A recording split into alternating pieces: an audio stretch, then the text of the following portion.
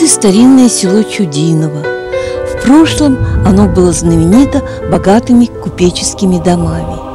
Во время царствования Екатерины II здешние люди возвели храм. Это был 1766 год. И позже, что бы ни случалось на Руси, революции, войны, он не был разрушен. Жители сумели сохранить его. По легенде, в 1937 году они даже обращались к Сталину, просили его содействия. Получилось. Об этой легенде нам рассказал настоятель Троицкой церкви иеромонах Никодим. Правда, в советские годы колокола были сброшены, и верующие преследовались. Люди в тайне приходили. Даже ночами. Даже, да, даже ночами приходили и где-то поставить свечечку, пока никто не видит. Вот. Кто-то дома, имея иконочки, имея какие-то, скажем так, Молился. молился да, какие-то книжечки там рукописные, э, читал молитвки. То есть всегда это вот было востребовано. Сейчас таких препятствий нету, какого-то гонения, еще чего-то. Что сегодня происходит в Чудиново? Какие здесь времена? Добрые или не очень? Об этом наш рассказ.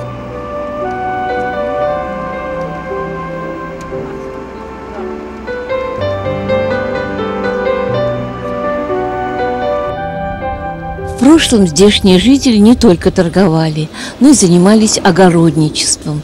Крестьянское начало в людях не исчезло.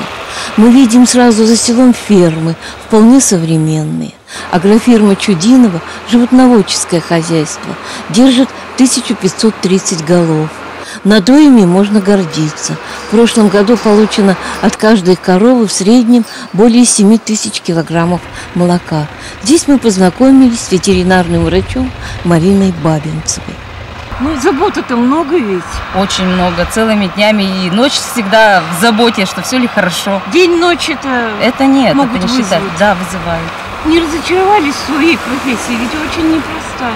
Вообще-то я к этой профессии готовилась с 9 класса. Да Поступала в сельхозакадемию на подготовительные курсы. Кировский молочный комбинат и агрофирма работают на общий результат – кооперация. И это положительный момент для тех и других. Самое-то главное, что как рынок-то сбыта, он постоянный, стабильный, и не надо дергаться туда-сюда, там где-то искать, где сегодня дороже, где завтра дороже. Есть какая-то стабильность в сдаче продукции. Да, есть движение вперед, считает Евгений Георгиевич. Беспокоит его то, что хозяйство хоть и строит, но мало. Ну и вы немножко-то ведь строите, я Ну, строим, но это темп, Мало. темпы маловаты. Ну, что, одна, две квартиры, там, четыре, А вот надо это. сколько? Ну, по крайней мере, хотя бы 6-7 квартир-то в год надо строить. А Хотелось бы, конечно, какую-то программу дождаться от государства. Подъема Конкретную? сельского, да, конкретно по подъему сельского хозяйства. Страна у нас чего, аграрная.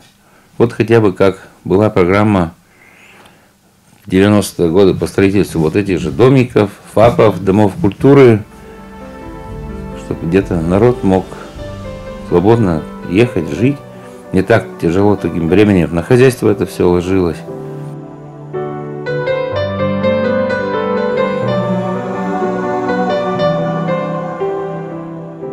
За все переживаю. Вот мы сами деревенские, потому что я это, на Ленинскую школу кончала, жила в деревне Чепчуги, чисто вот крестьянской семьи.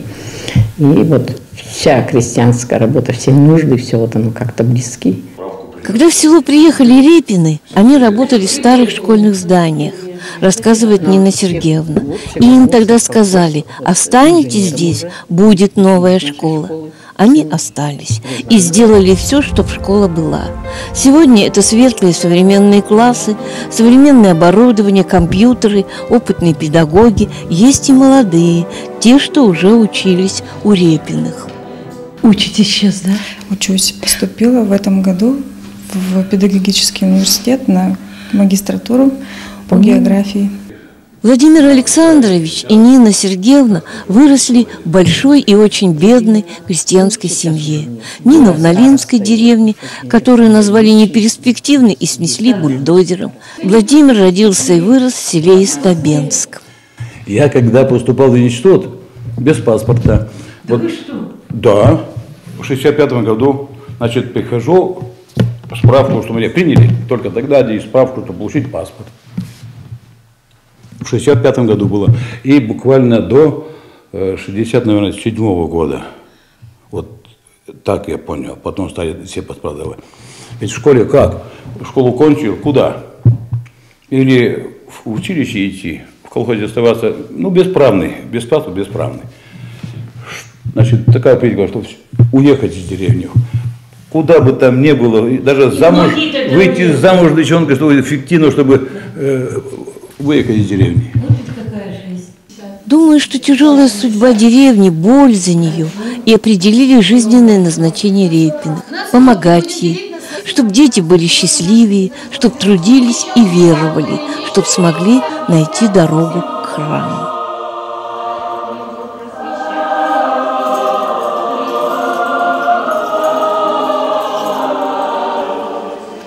Вы не замечали? Есть какая-то умиротворенность в российских селах, особый настрой, если храм действующий, если звучит молитвенное слово.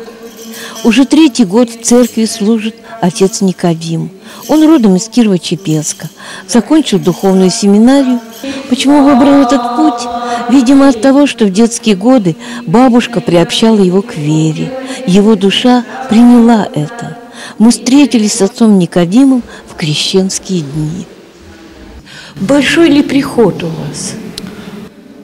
Да вот, в принципе-то здесь больш- большим количеством прихожан похвалиться не приходится. Да, на праздники приходят, ну, как везде, в принципе. Да-да-да. Пасха, Рождество, в особенности очень востребован храм, когда что-то нужно взять. В частности, праздник крещения сегодня. Все идут, чтобы поставить водичку и потом ее забрать.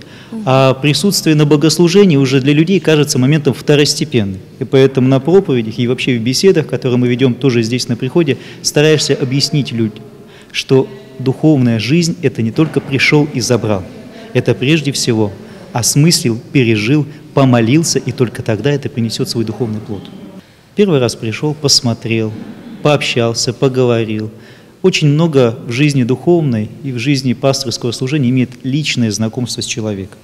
Когда человеком знаком лично, то действительно врата его сердечные открыты более, когда он действительно воспринимает и полюбил тебя как священник. Пойти навстречу человеку, и тогда люди всегда ответят добром и любовью.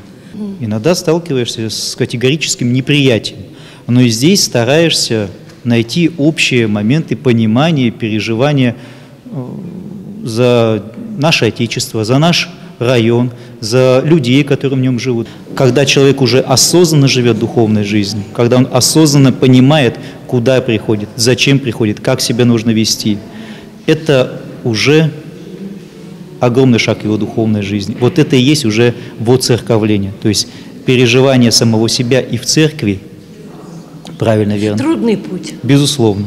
Тут очень трудный, э, путь очень трудный и сложный, но благодатный и благодарный, потому что человек тогда начинает понимать, что Бог-то рядом.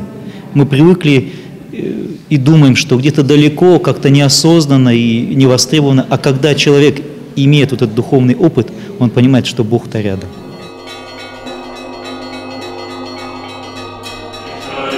Тебе, Господи, Троице Своей явися поклонение родителям, поглас свидетельство ваше Тебе, возлюбленного Тебя Сына именуя, и видя головине, известно ваше слове все утверждение, являйся Христе Боже, имя просишь слава.